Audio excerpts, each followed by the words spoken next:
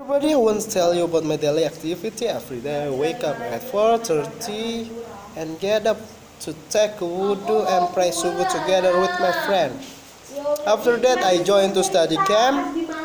After study camp, I go to buy breakfast at 6 a.m. Next, I go to take a bath and prepare for study in Brilliant. And I start to study in Brilliant at 7.30. After study in Brilliant at 1 p.m. I go to take I go to lunch. After lunch I go back to the camp at 1.30 p.m. After, to take a nap.